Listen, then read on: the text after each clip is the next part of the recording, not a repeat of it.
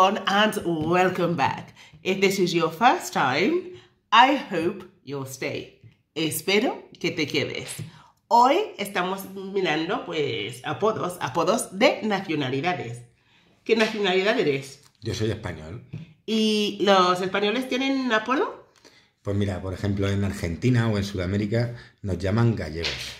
¿Gallegos por qué? Pues porque los, la mayoría de los emigrantes españoles a, a Sudamérica Sí. eran gallegos. Ah, entonces- yo no soy gallego, yo soy de Albacete.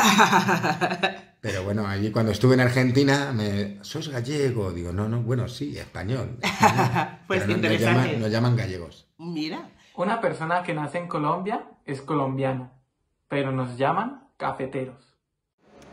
Hola, soy de la República Oriental del Uruguay. Uruguayo o charrúa, como nos llaman. Buenos días, mi nombre es Irving Moreno, nacido en Puerto Rico.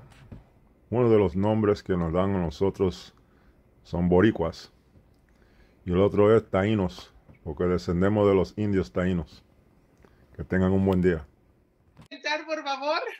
Hola, ¿qué tal? ¿Cómo están? Mi nombre es Dari Santamaría, soy panameña, tengo 29 años, ando por aquí, ¿sabes? Gracias, Kerry, por la invitación. Oye, tarde, pero lo logramos.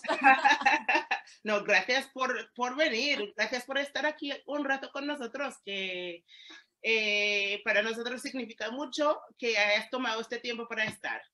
Así que para algunos, que a lo mejor algunos alumnos más jóvenes que no saben dónde exactamente está Panamá, ¿lo puedes decir más o menos dónde está en el mapa?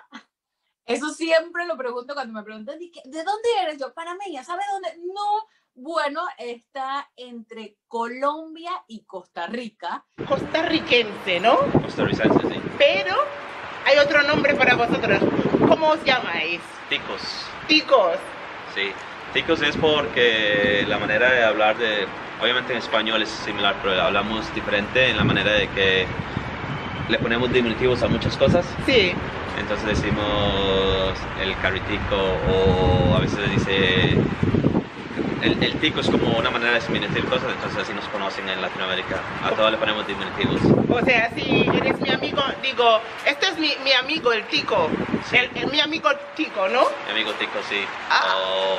Sí, es- el, el tico es Una persona nacida en México se le llama mexicano, pero depende en la ciudad donde hayas nacido, tienes diferente término local. Por ejemplo, alguien que haya nacido en la ciudad de Monterrey como yo, se le llama norteño o regio. Alguien que haya nacido en la Ciudad de México se le llama defeño o chilango. Alguien que haya nacido en Veracruz se le llama jarocho. Y así sucesivamente.